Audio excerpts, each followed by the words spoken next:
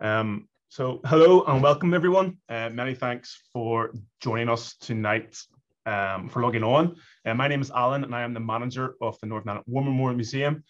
Uh, tonight's talk, the 34th Red Bull Infantry Division at War, is the first uh, in a series of events that the War Memorial are planning to mark um, or host throughout the year to mark the 80th anniversary of the arrival of American forces in Northern Ireland and their subsequent impact upon the country and the local people and so on. So before I introduce our partners from the Minnesota um, Military and Veterans Museum, um, I first want to welcome a very special guest, um, uh, Paul Narain, um, US Consul for Belfast, who's going to give us a very quick welcome. Paul? Thank you so much. and really appreciate the uh, invitation to join you tonight. Uh, I'm really delighted to be able to speak to everyone. I, really think this is a, an extraordinary and a really special series, and um, I really appreciate you giving me the opportunity to address everyone uh, here in uh, Northern Ireland and uh, at home. Today, we mark an important milestone in our shared history, and it's my honor as U.S. Consul General to be here in Belfast to join you to celebrate and honor that occasion. In 1918, Milburn Henke was born into a farming family in McLeod County, Minnesota. The year after he enlisted, and barely a month after the attack on Pearl Harbor, Private First Class Henke was on a voyage bound for the European Theater of Operations. 80 years ago today, that young serviceman descended the gangplanks here at Dufferin Docks in Belfast. He was part of the 34th Red Bull Infantry Division. His arrival marked our first official combat soldier to land in Europe in World War II. Northern Ireland's geographic location was of vital strategic importance to the United States. Crucial in the Battle of the Atlantic, it also provided a staging area for our forces as they prepared for combat elsewhere. Over a quarter of a million American soldiers followed Milburn Henke in preparation for the Allied effort in Europe. And their presence was as short lived as it was dramatic. Yet many, many of our servicemen left here with profoundly positive memories of their hospitality and the kindness of spirit that was demonstrated by the Northern Ireland community. And it's a spirit and a hospitality that I continue to see every day uh, in my five, six months here of service. Today's anniversary really gives us all a chance to reflect, to, to reflect on those who have made extraordinary sacrifices in the defense of our shared liberties. So really this evening, it, it's my delight to be here with historians from both sides of the Atlantic who have come together to offer insights on the 34th Infantry Division's legacy, not just here, but in North Africa and in Italy as well. And I do want to thank you, Alan, and your team at the Northern Ireland War Memorial Museum, as well as the many local groups here in Belfast and at home in the US who work hard to preserve the legacy of what is a truly formative and turbulent period in our shared history. So with that, I'm going to say thank you to all of you for making this event uh, possible and really for allowing me to be a part of it. I'm really delighted and look forward to an, uh, an interesting evening conversation. Thank you. Thank you very much, Paul. Um, truly appreciate taking the time to join us tonight. And, and, also thank you very much for those kind words as well. Um, thank you. Um, so what I'd like to do, I'd like to pass over to our partners at, in currently in Minnesota, where I believe it's just shortly after one o'clock in the afternoon.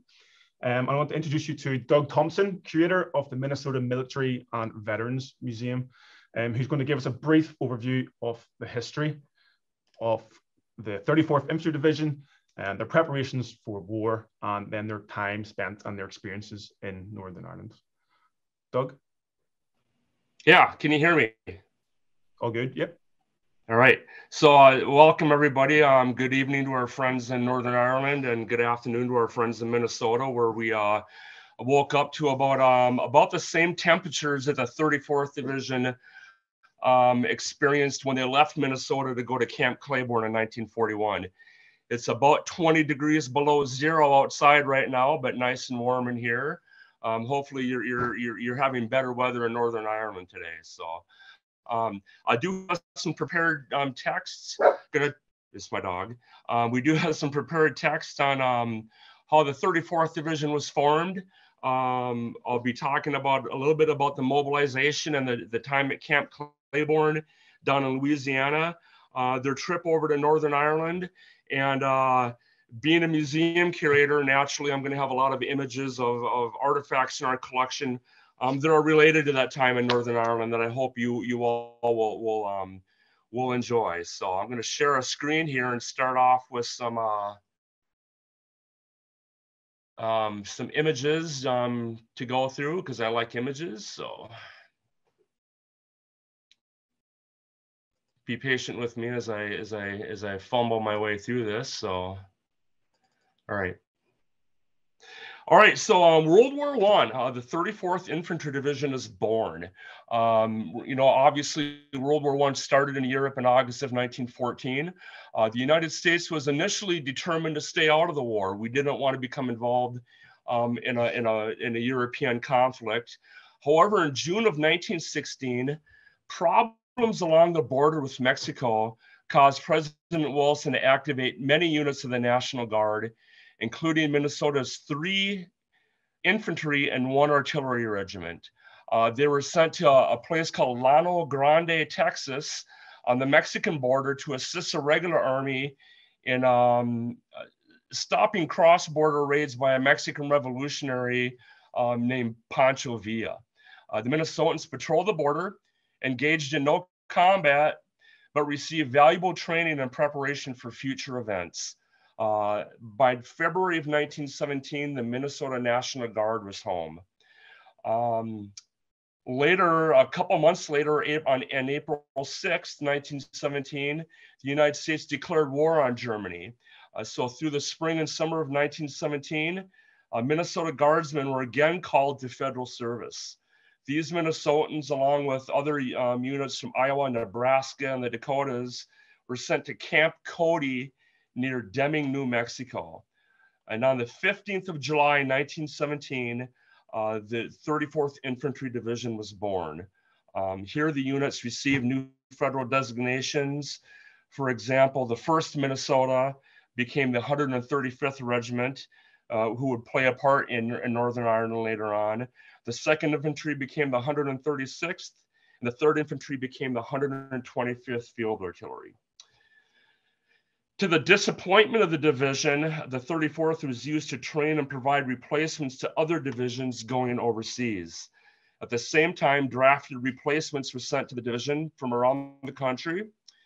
By midsummer of 1918, the 34th had lost much of its Minnesota and, and Iowa core, um, as most of these men were being sent over um, as replacements for other units over in Europe. and in September, uh, of 1918, the division was actually made it to France. Um, but the division again was didn't have any units save for one uh, that were, were actually sent into combat. They were using the 34th um, uh, piecemeal kind of to grab replacements to fill out casualties in other divisions. Uh, the origins of the 34th Division patch. Uh, you wouldn't wouldn't think a Minnesota unit would have a patch with a, a red steer skull and a, a Mexican water bottle, um, water container, but um, uh, during most of during World War One, most of the Army's divisions designated insignia, designed insignia to help build unit pride. Um, in 1917, the 34th held a competition to design a unit insignia. Uh, a young man from Iowa submitting the winning design uh, which featured things that were really common in the Southwest desert where they had been stationed at that time. Um, a red steer skull superimposed in a Mexican water jug called an olla. Now, originally, and actually here's the original plans for the, the first insignia. Um, originally, the 34th weren't called the Red Bulls, they were called the Sandstorm Division, and that reflected the, the um, uh, physical environment that the 34th Division was training on down in New Mexico. So, um, and, and, and one of our, our prize items in our collection is, here it is. Here's one of the first Red Bull patches ever made. It actually came from the World War I commander of the 151st Field Artillery named a guy named George Leach.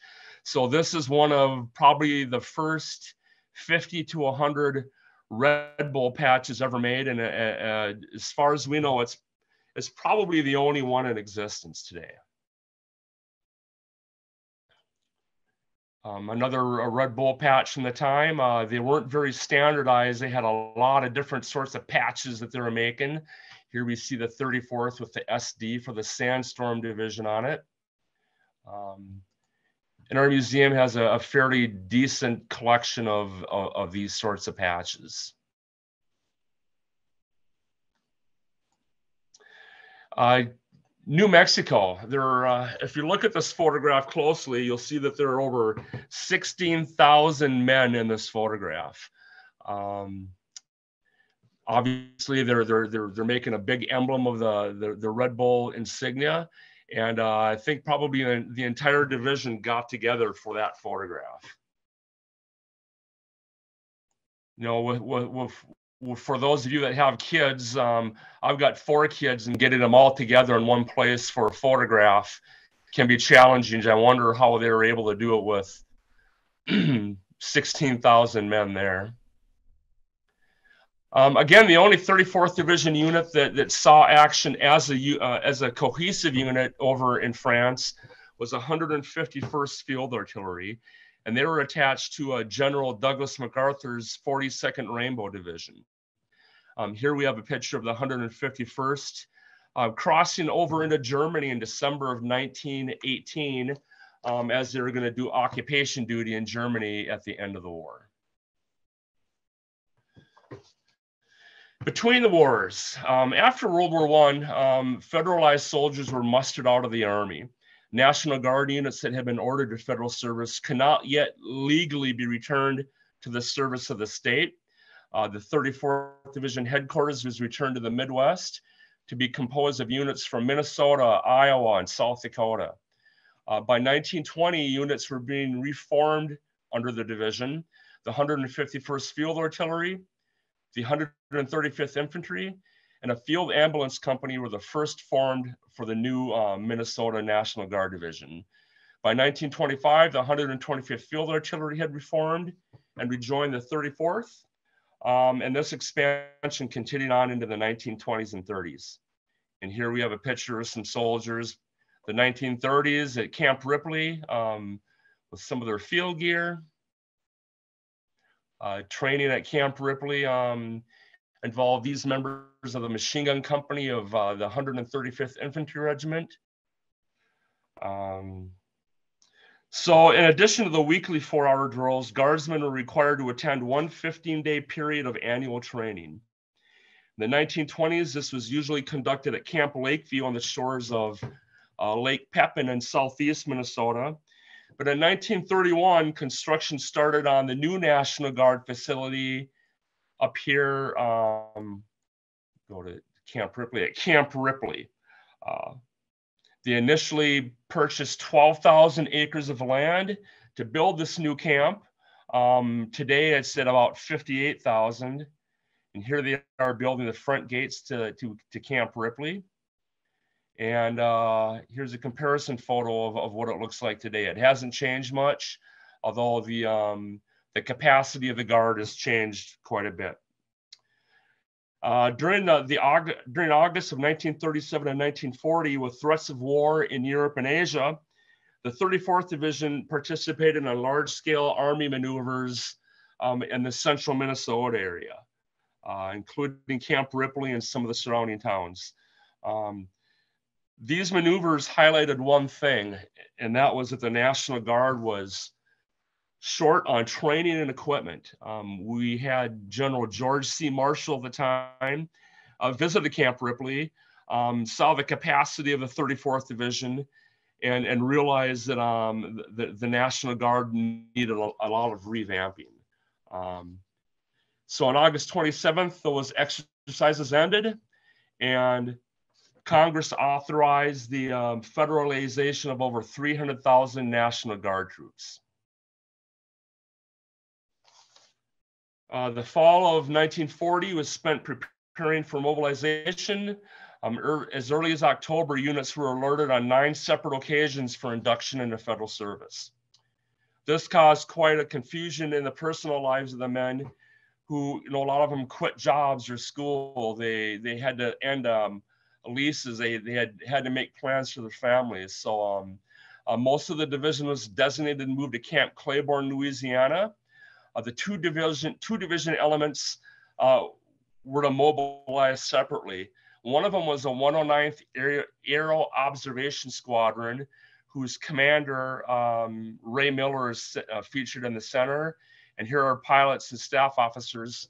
The 109th Aero Observation Squadron was the first National Guard um, Aero Squadron to be assigned to a National Guard division. So um, the 34th Division um, led the way for all the other National Guard units to have um, an aerial an aerial component to it. Uh, the other unit that was um, sent away was Company A, of the 194th Tank Battalion. And uh, this was the first National Guard unit to actually have a tank company as well. Um, a company of the 109th 94th Tank Battalion was sent over to the Philippines in 1941 um, as America's only armored unit um, overseas at the start of the war. Um, later on, they would um, um, fight a desperate rearguard action in the Philippines to, to hold off the Japanese advances in the Philippines. Um, and of the 60 men in the company, only 30 came home. The rest either died in combat or uh, um, were, were, were, prisoners of the Japanese. So. So arriving in Camp Claiborne, uh, the Minnesotans found the camp barely finished and full of red Louisiana mud. Um, oh, and a little bit here on Camp Claiborne. Camp Claiborne was built at built on uh, the Kisatchie National Forest in central Louisiana. Composed 23,000 acres. Um, Camp Claiborne was built between September and December of 1940. They had 8,000 workers building hundreds of wooden structures, thousands of tents at a, at a cost um, at the time of over $14 million. Um, Camp Claiborne, if it were built today, would have cost a quarter of a billion dollars, but they had to build these camps fast to help with the federalization of the of the National Guard units. Um, the 34th Division was the first unit to garrison Camp Claiborne. And here, here are some pictures. I'm going to show you some slides from uh, um, our collections of different units of the 34th Division uh, on parade going to Camp Claiborne. Uh, the, the, the 34th Division brought all of their, their artillery. Um, a lot of the troops took train. A lot of troops took um, the train down to Louisiana. Um, but you had a lot of uh, uh, members of the unit that were driving trucks and their artillery units and all that. So here we have the 151st Field Artillery, on parade, uh, the 135th Infantry, which would spend time in Northern Ireland, uh, more units um, of the 134th. Here are the, all the divisional colors together on parade. Uh, fortunately, over the years, our, our, museum has been able to acquire and uh, and have in our collections a lot of the original colors that were flown at, flown at Camp Claiborne and in Northern Ireland. So here's um, a headquarters flag from the 175th in our collections. Here's the um, national color of the, the 135th Infantry, 175th HQ, uh, another field artillery, uh, 175th flag. And Camp Claiborne, um, beautiful Camp Claiborne. I think um, uh, I think there was a lot of um, um, pr- problems down at Camp Claiborne. Most of the troops, when they first got there, um, lived in tents. There was hot. there were a lot of mosquitoes. There was mud. There was bad weather. But um, like all good soldiers, they they put up with it as best they could. Here are some um, images of uh, Camp Claiborne with the original uh, tents. And here are the tar paper shacks they eventually lived in. Uh, the sleeping quarters, not unlike the Nissan, the Nissen huts that the soldiers got to um, stay in when they were in Northern Ireland. Here's um, uh, part of the 34th Division on review. When they first got there, again, it was a mess. It was muddy. Um, they were sleeping in tents. Uh, it was um, a, a, lot of organization that had to take place before they were able to make the camp livable. Some more uh, images of the, the, sleeping quarters. Um, here's a gentleman that the Northern Ireland War Museum actually interviewed. Um, we introduced them to a man named Fred Topol. Um, and Fred was kind enough to uh, donate a lot of his materials to our museum, including a photo album with a lot of pictures of him over at Camp Claiborne. So the mess hall, Camp Claiborne. Uh, here, here's an overhead view of the camp. Amazing that only took three months to build this massive sprawling camp. Uh, one of three camps that were actually built in in central Louisiana during the um, um, the, the, maneuvers there. Uh, the 34th Division's area was mostly on the left in the photograph, and uh, they had about 4,000 soldiers, I believe, there at the camp. So, uh, sports were sports um, as, as well as the war maneuvers, um, sporting events to keep the guys in shape and to keep up the morale were really important. And we're happy to say that Battery E of the 151st Field Artillery were Camp Claiborne softball champs in 1941. So another picture of uh, some 34th Division trucks, 151st Field Artillery trucks uh, on maneuvers out in the field. Um, just within the last week, the Minnesota Military Museum received a donation of most of the photographs and paperwork of a guy named Colonel George Sylvester, who commanded the 151st Field Artillery. And I just pulled these images out the other day. They're um, um, color photographs that um, Colonel Sylvester had of training in, in Camp Claiborne. And there's 151st Field Artillery Regimental Standard along with the U.S. flag. Some more so pictures of soldiers on training. There's Colonel Sylvester on his command vehicle. Uh, here's a here's an artifact from Camp Claiborne as a sweater worn by a member of D Company, the 135th. And a couple of steel helmets, uh, the one on the left from the 125th Field Artillery and the right on the 135th 5th Field Artillery. Now, when the 34th Division went over to Northern Ireland, um, a lot of uh, talk was made about them being dressed in World War One uniforms. Now they had the, uh, the the World War One helmets when they went to Northern Ireland. Uh, the Quartermaster Corps had the new helmets available, but um, they didn't want to cause any identification issues with the U.S. troops. They didn't want to confuse any of the um, so they said they didn't want to confuse any of the British soldiers by having um, German type helmets, which they thought the, U- the newer U.S. helmets looked like. So they um, they, they let them go overseas uh, um, with the World War One doughboy helmets. Uh, here's a picture of Colonel Sylvester at Fort Dix before they um, got on the boats to go to Northern Ireland. And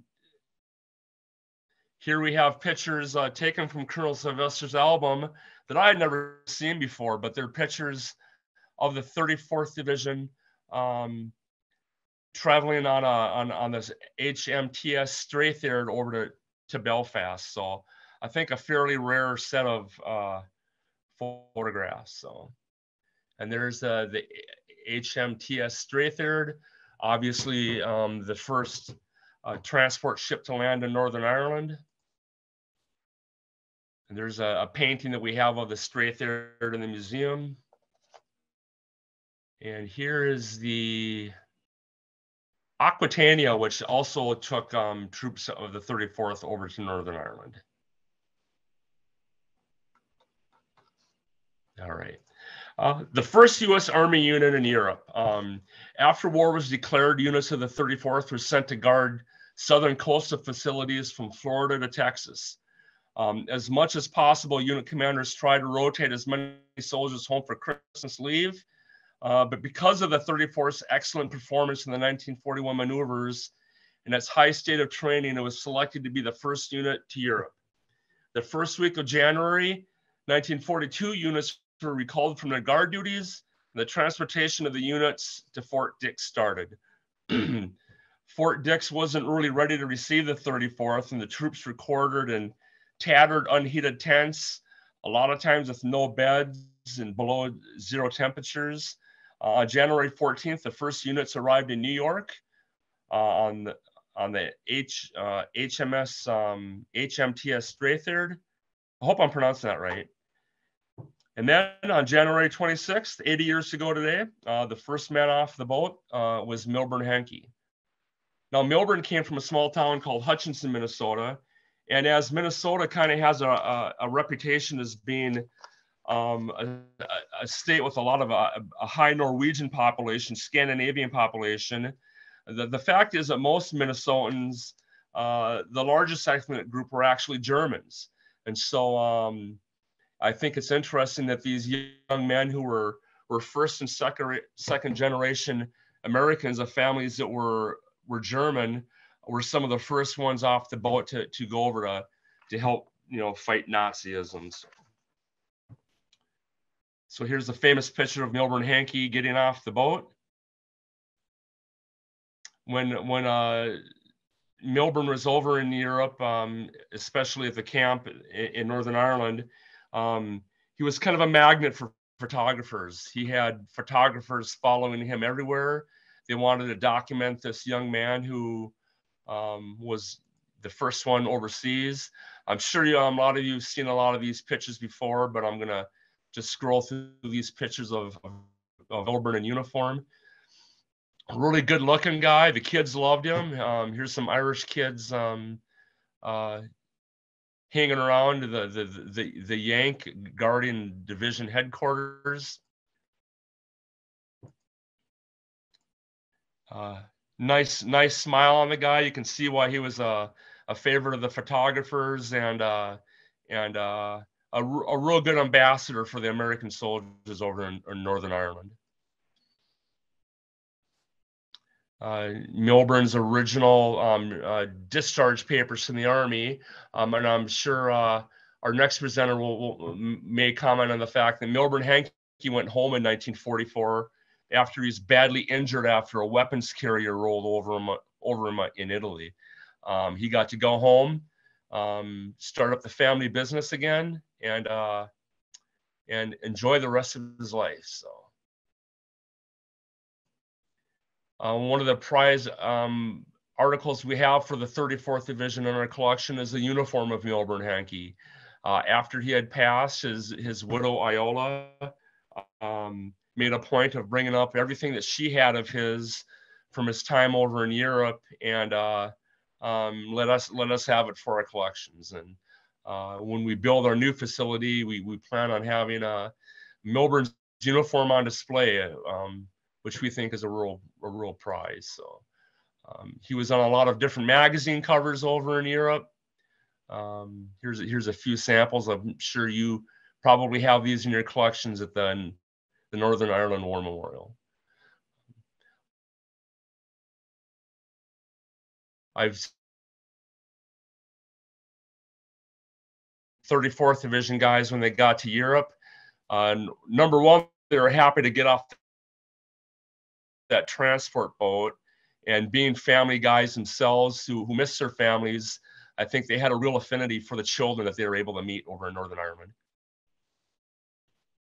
And of course, um, having a, a, a beautiful um, lady serving you food and, and tea is was was a reason to put a smile on their faces too.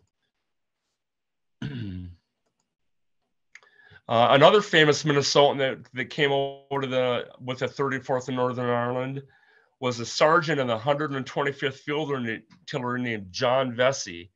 Uh, John Vessey, as many of you know, uh, rose from the ranks, got a battlefield commission at Anzio, and went on to become um, a four-star general and the, and the chairman of the Joint Chiefs of Staff under President Reagan. here's a picture of John Vessey in a friend of his renting an Irish court, uh, horse cart and going for a ride. I love this picture of General Vessey and, and it shows them enjoying the, the beautiful countryside over there. And here's a picture of General Vessey in Camp Claiborne.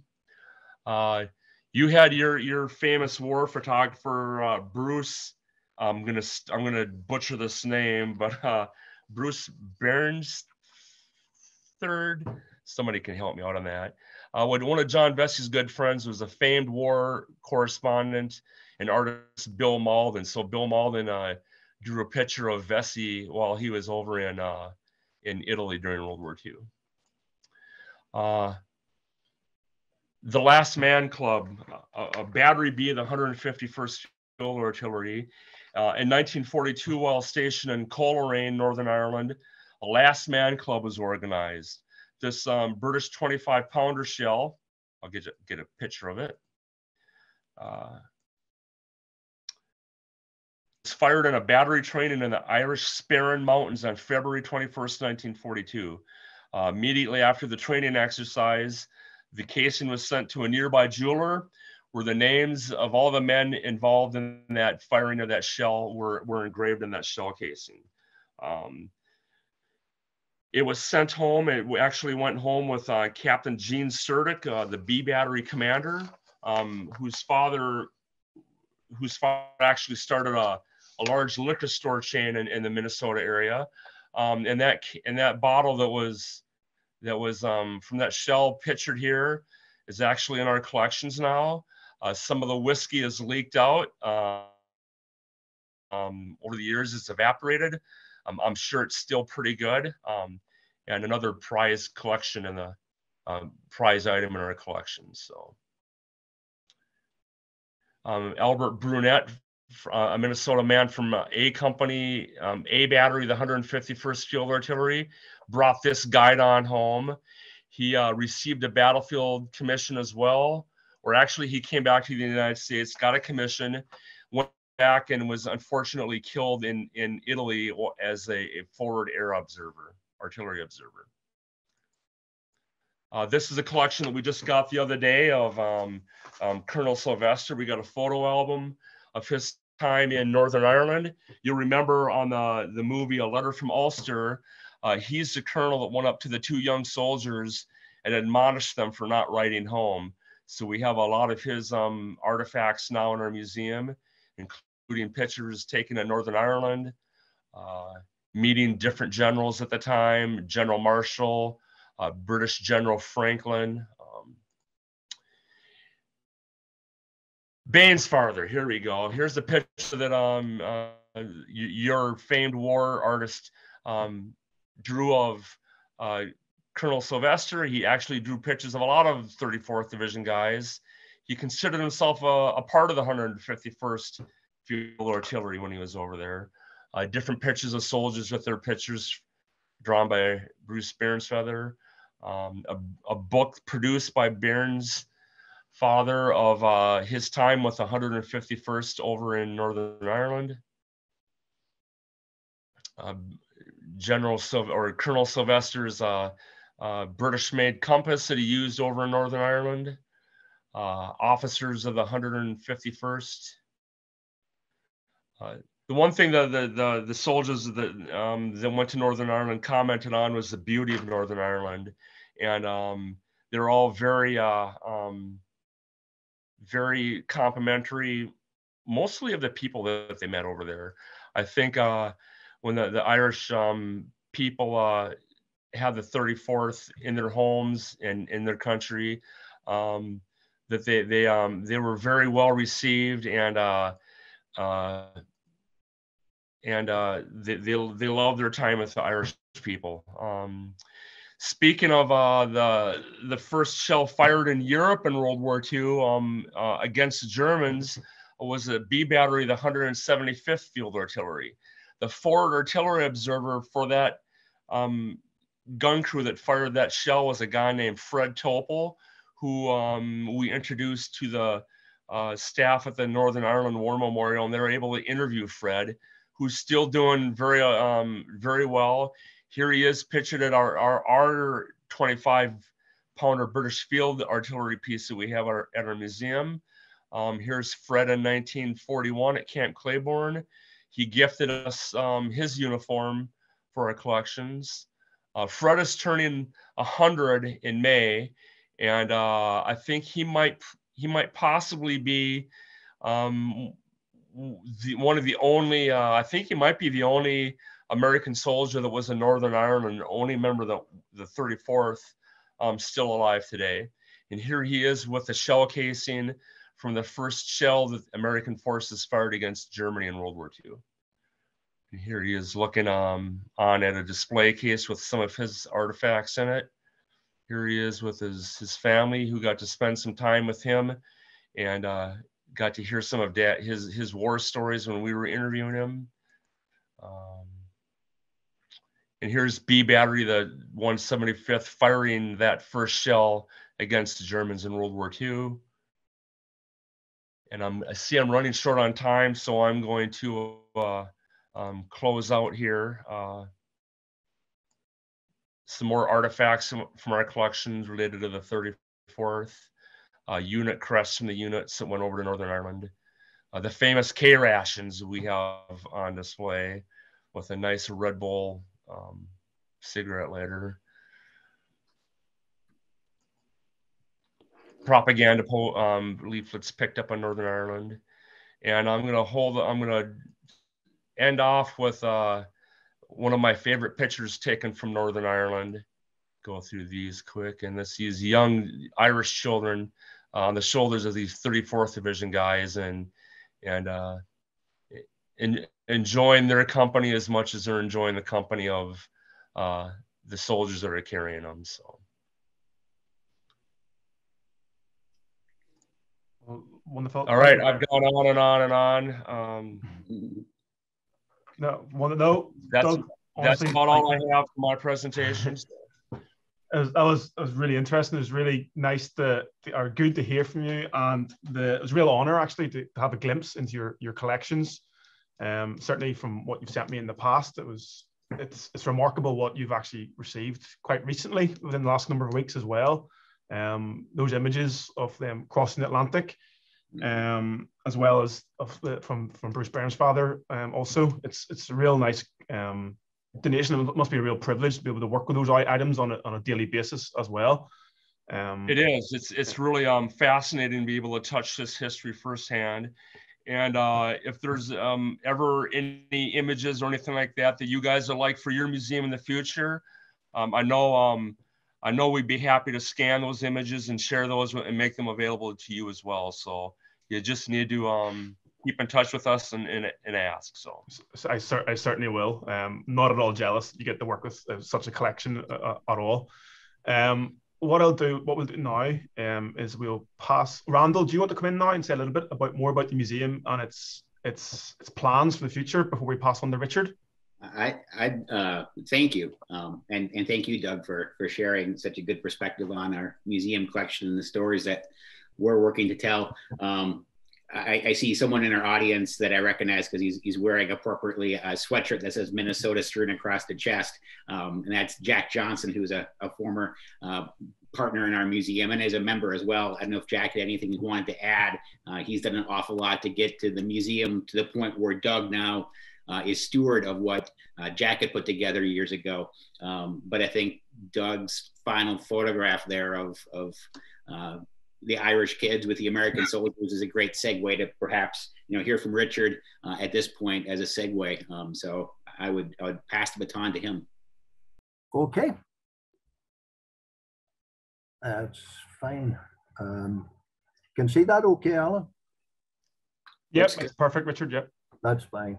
Uh, so no need for me to explain that this is the, the divisional badge or the tactical recognition flash, as we would call it on the side of the Atlantic of the 34th Infantry Division.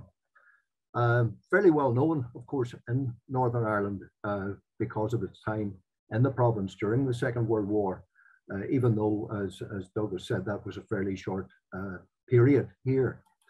And I'm actually treading back on some of the ground that, that, that Doug went over. Uh, because there's a there's an interesting connection. This is the the first shell that was fired in Northern Ireland. Uh, it was fired by gunners stationed in the Coleraine area and actually on the Bellarena estate. I'll see a photograph or two of the Bellarena estate in a moment.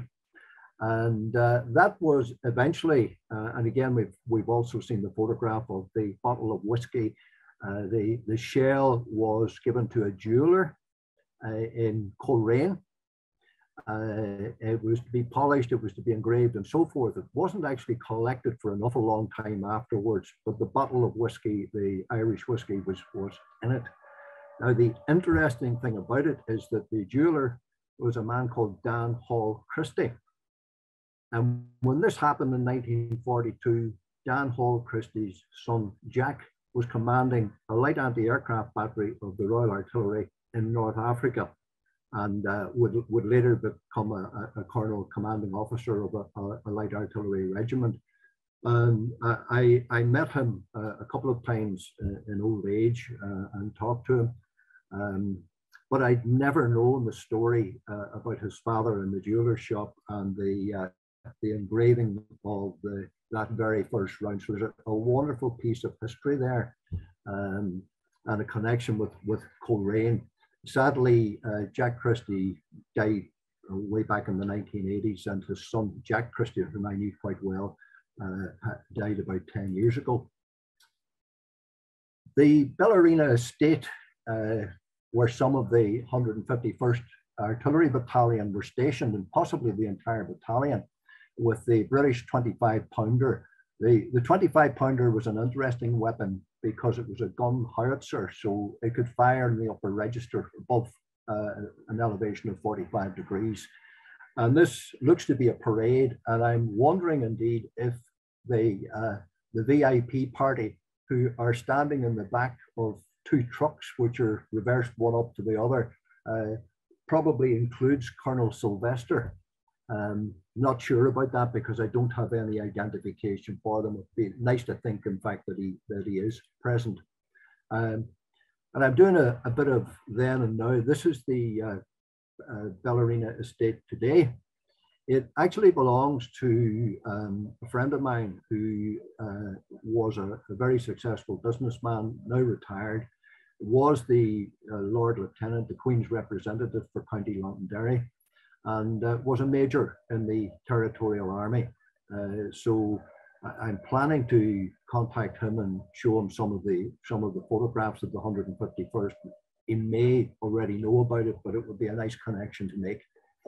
Uh, and uh, of course, just to bring us up to date, this is the 151st uh, in, in action today, and they've seen overseas service uh, since the start of this century, as indeed of so many National Guard formations. Um, Tunisia was their first area of uh, operations. I, am not going to go into that in, in detail. Uh, Tunisia was uh, tended to be a, a school for uh, the, the US forces who hadn't been in action before. And as uh, the late Field Marshal uh, Earl Alexander, an Irishman, actually an Ulsterman from County Tyrone, said of them they learned very, very quickly.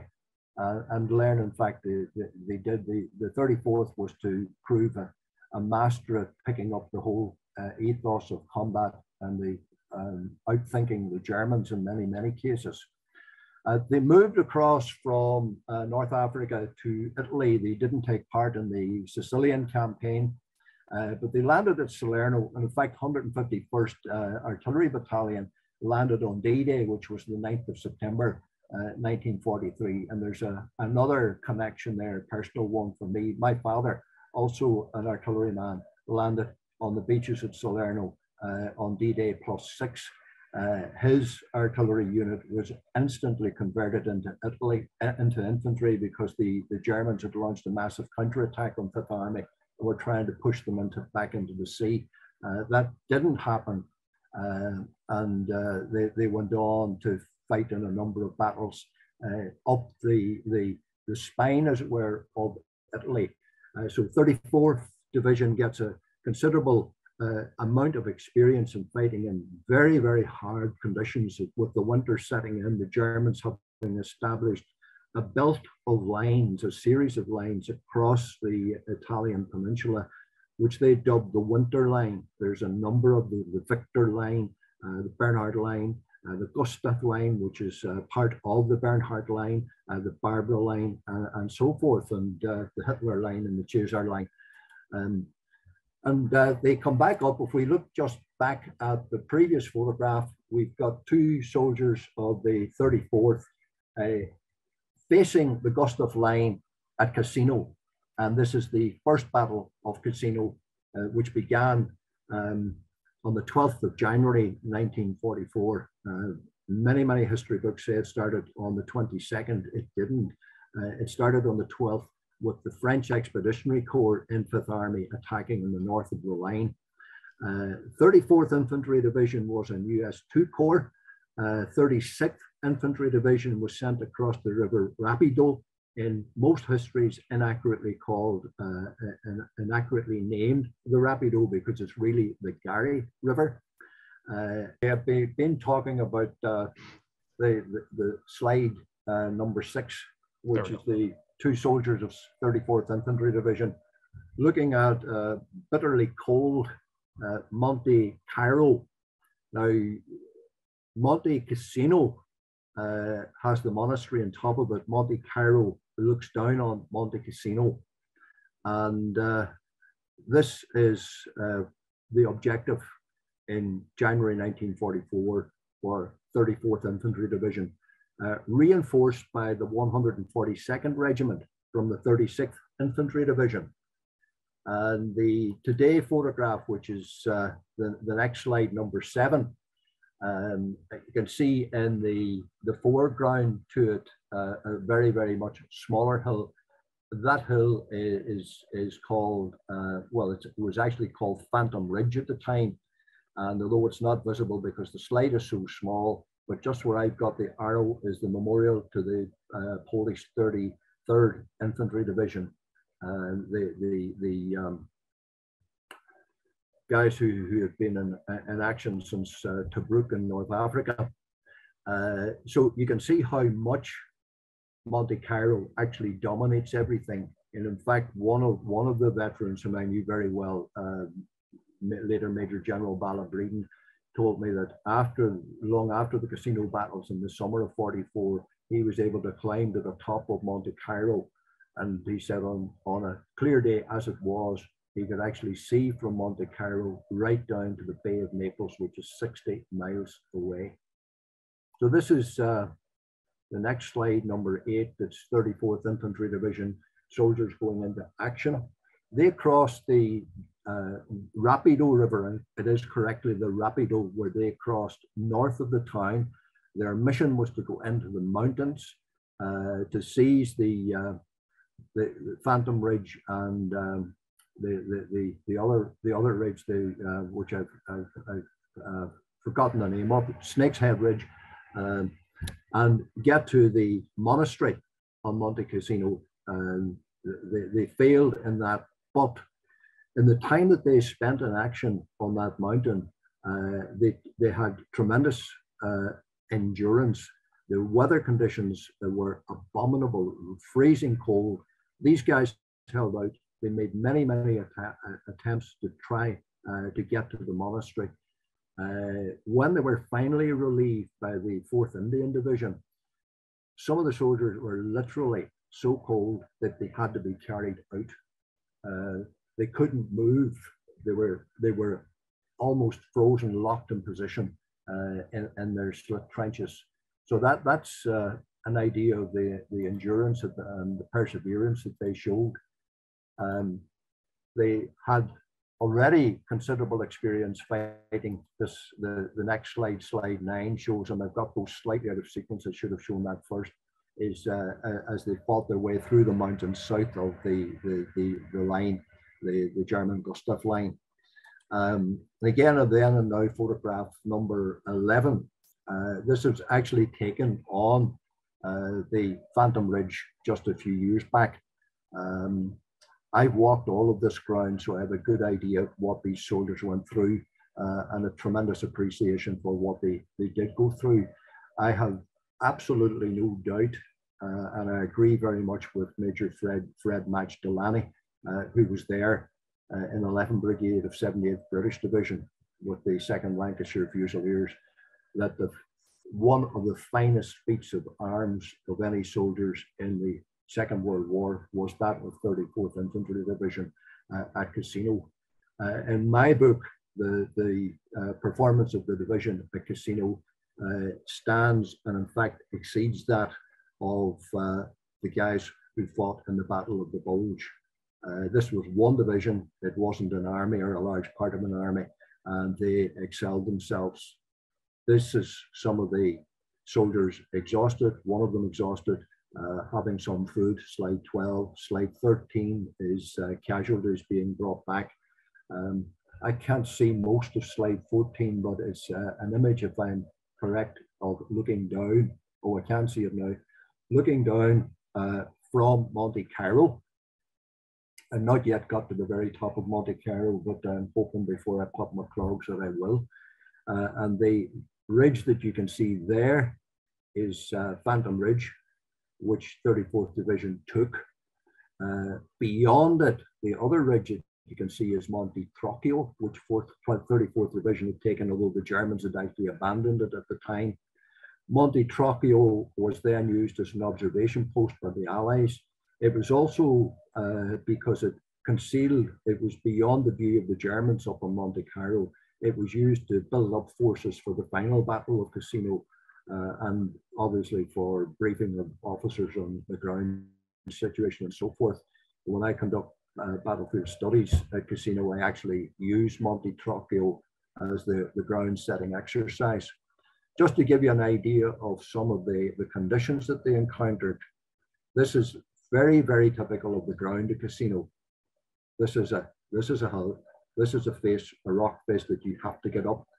This photograph uh, taken uh, five years ago, uh, and you can see that there's still uh, ordnance lying about there uh, in various places. Uh, this this was reported to the uh, the Italian army who would come along later and remove it. So hopefully it's not there today. I mentioned the 142nd Regiment of 36th Division, which was added to 34th uh, for this expedition into the mountains in the attempt to take uh, the, the monastery, Monastery Hill. Uh, and this is a memorial to one of their soldiers uh, who died uh, in the in the mountains uh, above Cassino and overlooking actually Phantom Ridge. Um, soldier of 142nd, who a friend of mine, uh, Damiano Paravano, who lives uh, not very far away and studies the battlefield, walks the battlefield, guides me around the battlefield, uh, discovered uh, this soldier's dog tags about 10 years ago and eventually arranged to have this memorial placed to him on the uh, on the ground where he in all likelihood lost his life in 1944 during that uh, attack into the into the mountains. Uh, 34th Division would go on then to fight in the breakout from Anzio. They moved into the Anzio bridgehead in uh, March of 1944 uh, still a very, very difficult time, although the worst of the German attacks to pinch out the, the lodgement had finished by then. Uh, but they took part in uh, Operation Buffalo and then the, the, switch of axis uh, by General Mark Clark towards Rome and uh, then fought up towards the, the Gothic line. they had a superb divisional commander in Charles Ryder, and I think he was both inspiring and a man with a, an eye for battle and an eye for the, the, the, ground. By the end of the war, I think 34th Division had actually spent more days in combat uh, in the European theatre than any other uh, division of the United States Army. And my belief is that the only Allied formation that beat it in terms of the number of days in combat was the 2nd New Zealand Division, uh, who had started off in, in uh, North Africa in 1940, fought in Greece and Crete in 1941, right through the North African campaign and then the Italian campaign. And finally uh, was, was, the Allied uh, formation that went into Trieste to take the German surrender uh, at the end of April, beginning of May 1945. Uh, so that's a, a, very, very brief summary of uh, the division's activities with a concentration on what it did around uh, Cassino in the first Battle of Cassino uh, in 1944. Needless to say, the, the um, conditions uh, and the casualties were horrendous. Uh, the, the different battalions, for example, lost enormous numbers of men at the end of their, their tour of duty on Phantom Ridge. The 1st Battalion of 168th Infantry had only 154 effectives. Uh, the 2nd Battalion better off at 393, and the 3rd Battalion about 250. Uh, they, as I said, had gone into action on the 24th of January. Uh, they were relieved on the 11th and 13th of February and uh, really they had lived a lifetime in hell in those few days um, in, in the mountains and certainly having walked those mountains in pleasant weather I take my hat off to the, the men of the Red Bull Division. So thank you very much for your attention and that uh, finishes my contribution for the evening. Oh, thank you very much, Richard. I suppose before I know I know Randall wants to come in um, and, and do a bit of talk a little bit about the, muse, the, muse, the Minnesota Military Museum and talk about what their plans are.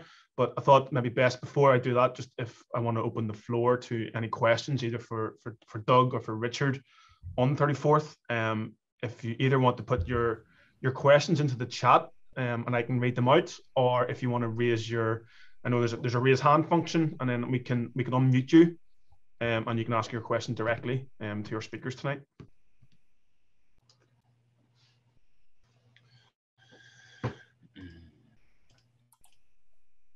give you a minute or so just to, if there's any questions.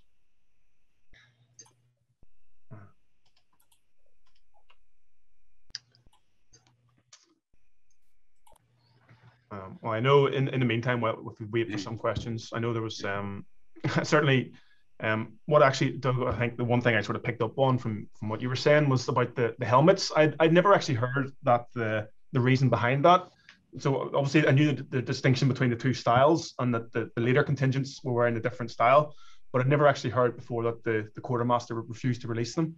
So I, I thought that was, uh, was really, really actually first time I've ever heard that. So yeah, um, can you hear me? Yep. Yeah. So um, actually um, I, am the kind of history nerd that likes to read um, on government histories on really obscure subjects and I'm, I'm reading the quartermaster history of the the um, the war against Germany right now. It's a, it's part of the Army Green Book series. It's a big thick book, and the quartermaster um, uh, officer over in, in, England at the time uh, told the 34th Division when you come over, wear your your model 1917 A1 helmets because um, the Ulster Defense Force and the Irish um, civilians in the area uh, might get worried if they see troops coming off a gangplank with helmets that look like German paratrooper helmets. And so um, the idea was to um, uh, have them wear helmets that had some familiarity with the British people. I don't know if that's true or not. Certainly, the Quartermaster Corps at that time um, had the, the, the, the, more modern helmets available for them when they came over to Ireland, but they chose to um, have them come over in those British helmets which I thought was kind of an interesting little um, tidbit. A lot of people wonder why all those American soldiers are going over there in World War One uniforms, and and um, th- that kind of answered it for me when I read it the other day. So. Yeah, no, it was, it was great to hear. It certainly stood out for me. Um, I know Ian Henderson. Uh, Ian, if you want to come in with a question. Um, not so much a question as just an observation. Um, there was rightly focus on Milburn Henke. And I just want to make the comment that back in 1992, when my wife and I were relatively young, um, Milburn and Iola came to dinner with us here in the the, oh. the house I'm I'm speaking from tonight, and the memories of of him as such a, a modest man, telling us how he got selected as the star turn of the American forces. He believes it's because he hadn't actually uh, committed any offenses and therefore nobody could could dig up any dirt on him and he got pushed forward as they were coming towards the gangplank um, and i think it probably is an example of the first specially selected man for this sort of thing because as you know he was later used uh, for fundraising and tours across the US and that sort of thing. So it was a very smart choice. And anyway, you, you the photographs and, and the occasion raised my memories of a very happy evening meal with him and Eola. So that's my two pennyworth. Can I can I briefly add another um, little tidbit to that story? When uh when they had chosen um Henke to come down the gangplank, um, you've got to understand that most of the 133rd Regiment were from a state to the south of us called Iowa. Yes. Now, Minnesota and yes. Iowa have a little bit of a competition, right?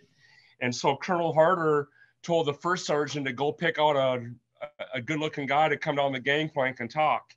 Well, Milburn Henke was probably um, one of about 10 guys from Minnesota in the 133rd Regiment there's no way this guy could pick somebody that wasn't an Iowan to come down the gangplank.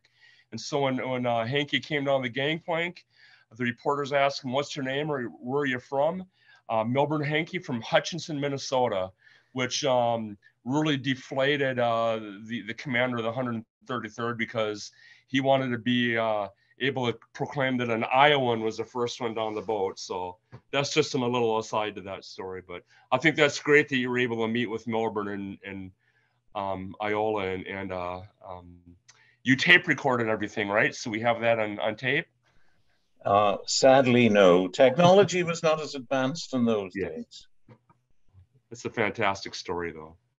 Wonderful. I have a comment to make on that, and then also a question. Uh, my comment is is that uh, I've read that that Henke wasn't actually the first off the game plate. They had set up a ceremony on one of the docks uh, where Henke was photographed and and uh, uh, uh, was was designated as the first off the game gangplank.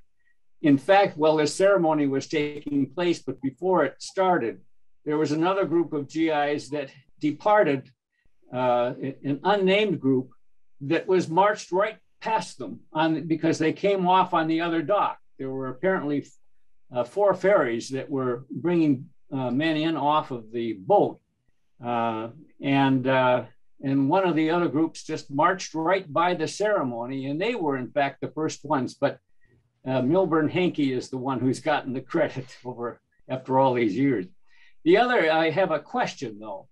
Uh, we know that the 34th trained in Northern Ireland, um, the first Ranger Division, which was organized uh, yep. and comprised uh, by a lot of the men from the 34th, also trained there initially. But I have not heard uh, of other units so I was wondering, were there other divisions or uh, substantial uh, U.S. units that trained in Northern Ireland? Yeah, certainly, Jack. It's, it's a great question. Um, no, I'm by, by, no means an expert, and I'm sure Richard will, will pull me up on anything I say here. But um, the way the Americans in Northern Ireland sort of came in, in two waves. Um, the first um, with the 34th um, in the build-up to Operation Torch, um, in North Africa, and then the second wave in the build up to the D-Day landings in 44. Um, just um, I wouldn't be particularly off top of my head, but certainly in the first wave, um, there was the, the first armored division. Elements of it were in based in Northern Ireland, um, and then more so in the, in the second wave, uh, I believe the Fifth Infantry Division were one of the major elements. Um, they were based in and around the Mourne Mountains in, in south uh, south of County Down um, as well as I believe, I believe as well the 8th Infantry Division for that time were based in Northern Ireland. Um, and it, it is worth stressing it wasn't just the US Army that were based in Northern Ireland. And there's a very large um, US Army Air Force presence in Northern Ireland, um, as well as a, a, civilian presence. So the Lockheed Overseas Corporation had a very large um, base on the shores of Lough Neagh um, called um, Langford Lodge. Um, and the US Navy also uh, quite a large presence, um, which up in, in Derry, Londonderry, it would have been the, the, the, the British end of the, the convoy system, where there's a, a, US naval operating base was based on, on Lough Foyle at Londonderry. Um, but I'd, I'd like to invite Richard to maybe come in because I know um, he might have something to say about the who actually was the first Americans to arrive. Um, certainly as as, a, as, as somebody from um, Londonderry. Well, the the the convoy that uh, brought uh, 30 the, the first flight of 34th Division, uh, the the um, the RMS Strathaird, uh, or as she was during the Second World War, the hired military transport Strathaird, uh, it, it actually was a two-ship convoy escorted by two warships of, of the Royal Navy. And a lot of the records say that the ships went into Glasgow. Of course, they didn't go into Glasgow, but one of them went into Belfast, and the other one, either directly itself or by using tenders, uh, came into Londonderry. So there are US soldiers ashore in Northern Ireland in barracks in Londonderry before that ship arrives in the Pollock dock in Belfast. Uh, and as I say, uh, emphasize it's the first flight, it's not the entire division uh, by, by any means. And the fact that you can see them using 25 pounder guns means that they don't have their own uh, American equipment at that stage. Uh, Lend Lease uh, worked in, in two ways. all the facilities for the US forces in the United Kingdom were paid for by the UK taxpayer, not the American taxpayer. Uh, and that, that was our part of paying off something uh, against, uh, against the generosity of the United States government, uh, which has to be said was probably one of the greatest acts of generosity uh, in, in the history of mankind. Thank you, Richard. Um, there's another question for you, Doug, from um, Ian McConnell. He asks in the chat if you've received photos of US vehicles in Northern Ireland, specifically Dodge weapons carriers. Um, he, he mentions he has one with no unit markings, which he would like to find a photo of, one with a Northern Ireland connection. We, we have a lot of photographs in our archives. Um, a lot of them, we honestly, we haven't even gone through yet, but um, I'm sure somewhere in our collections, we have pictures of of Dodge weapons carriers. Um, as I'm just going through Colonel Sylvester's collection that was dropped off in our lap, um, he's got hundreds of photographs and he had hundreds of high quality photographs. There may very well be some weapons carriers in there. Um, we have a lot of private soldiers that brought cameras with them to Northern Ireland and we're taking pictures. So um, there's there's that chance that we have that stuff. It's just something you'll you have to maybe email me and send me a request and, and we can um, uh, working with our archivist Dan Ewer, we can probably come up with some pictures for you. So um, Ian, I'll just drop Doug's email into the chat then so you can see it. Um, so um, then, and then Randall, just if, there's no more questions, so do you want to come in and say a very quick word about the museum and your, your future plans and so on? Be happy to. Thank you. Um, you know, just for a minute or two. Um, thank you for having us on this evening. Um, hope we hope we do this again. Uh, this is an important story to to, to move forward. Um, Doug talked about the, the, the the environment at Camp Claiborne, which is about 1,600 kilometers south of Minnesota in Louisiana, uh, at the opposite end of the Mississippi uh, in the United States. Um, for your reference, if you're wanting to do some more research to understand uh, the kind of character that this unit had the 34th um, on YouTube. Uh, there's a Harold C. Deutsch roundtable you can find on YouTube, uh, packed with all kinds of uh, roundtable interviews, and one of them is is with this individual, uh, Archie uh, Chewsbury, and, and he does a tremendous job of, providing some real color to this group.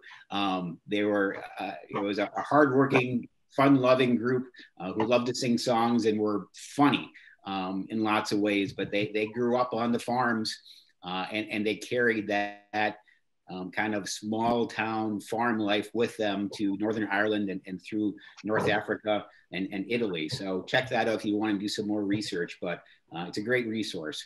Um, one of the people that spoke along with Archie um, on that roundtable and that Doug made mention of uh, was John Vessey, pictured here. Um, and John Vessey was a Minnesotan, and as Doug mentioned, he was uh, 46 year military career, uh, ends up being um, the chairman of the Joint Chiefs of Staff for Ronald Reagan, really at the, the arguably the height of the Cold War, and speaks uh, repeatedly about what he experienced and learned uh, in World War II, and that how and then how that informed uh, his leadership of the armed forces years later, and and how that changed. Um, the readiness of the American military as a result of what he saw uh, when he was part of the 34th and landed in in, in Ireland and, and did become you know the, the four star general. He passed away in 2016. Uh, his grave is actually uh, at the at the front door essentially of, of Camp Ripley. Um, there was a understanding where we come from, being proud of, of his service um, to Minnesota and the country and, and, arguably the world, especially you know working with the Reagan administration in the 80s. Uh, there was a comprehensive um, oral history project done with Dr. Thomas Saylor, uh, sitting down with uh, General Vessey for many, many hours, resulting in about a 700 page uh, oral history of, of his time. And he talks in that oral history about arriving in Northern Ireland. And if you'll allow me just, you know, a, a minute perhaps, um, he references it and, and, and, thought it was kind of uh, maybe a, a, nice way to wrap up. Um, because the, the interviewer in this case, uh, Dr. Thomas Saylor, is asking him um, what the, how the population in Northern Ireland, how they responded or felt about the Americans suddenly landing.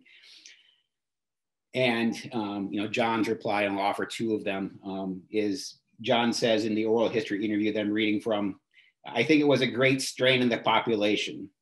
They're saying generally in the British Isles, um, was that there were a couple of things wrong with the Americans, or three things to be more exact. Uh, they were overpaid, oversexed, and over here. Uh, and then the interview goes on. Uh, Thomas Saylor in, asks him the follow-up question if, if he ever felt that that um, you know this was a burden in some ways, um, providing and demanding an awful lot from the population to support these American GIs. And uh, he says, no, Never.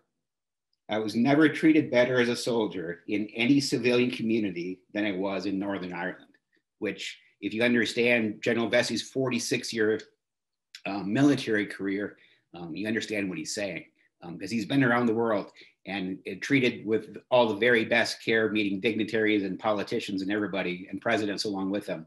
Um, and for him to, to single out um, no place was he treated better as a soldier than you know in Northern Ireland. I thought that was telling. You know, buried in a 700-page oral history done five years ago is General Vessey saying, um, you know, Northern Ireland um, was good to him and good to the GIs. Um, he goes on to say um, that when they were leaving, uh, it was supposed to be a big secret um, about when they were going to be departing. Uh, and General Vessey, as a closing comment for you all, um, says. Um, we were welcomed here. And when we left, it was book, supposed to be a big secret that we were leaving, but they knew we were leaving, and the people knew that we were leaving, and, and they gave us a, a, they gave us their rations as a farewell dinner for the NCOs in our unit. So uh, you know, a send off dinner uh, that was supposed to be a secret, and of course, um, the, the generosity perhaps um, that was displayed, um, you know, couldn't couldn't keep that secret, uh, and and I think the appreciation um, of General Vessey and of the Minnesota troops um, and American GIs to uh, Northern Ireland is to be noted. Um, we are at Camp Ripley. Our museum is. We've been there for 40 years. You saw some images that Doug shared of, of uh, the 53 acre, 53,000 acre campus that is Camp Ripley. Um, we're building a, a new facility. Uh, we've been at a small facility depicted here in the upper left, uh, and, and then filling an awful lot of these overhead views of smaller buildings on this large campus um, for the last, you know, since 1977 when the museum was formed. Um, we are in the process of, of pulling together all the funding and the design work to construct this new facility you see pictured here. This is a rendering for a new facility to open in 2024, early 2025 potentially, uh, right outside the gates of Camp Ripley, adjacent to the Mississippi River, um, and one that we're proud of. So uh, overhead view here um, from the other perspective you just saw on the top of the page, essentially you see a, a cemetery denoted and a walkway to that cemetery. Uh, that lovely uh, cemetery, veteran cemetery, is where General Vessey and his wife Avis are buried. Um, certainly some interior shots as well. Uh, but this facility, a rendering at the moment, but one that we're working hard uh, in Minnesota uh, to create and, and, share the stories of the 34th and their time in Northern Ireland, and, and, noting that the Red Bull division, um, you know, stretches back to World War One but even uh, as recently as you know the end of the American presence in Afghanistan, uh, have continued to really serve with distinction. Um, and so I really appreciate uh, the chance to share these stories with you and, and hope we can uh, continue the conversation, Alan and Richard. Oh, thank you very much, Randall. Um, it certainly looks to be a, a very exciting um, time and very exciting future for your, yourselves. I'm sure that the project, um, I hope it all goes very smoothly over the next year. Um, I might have to ask Richard and the rest of the trustees here for maybe a, uh, an all expenses paid trip to Minnesota within the next five, 10 years, maybe. Count on that.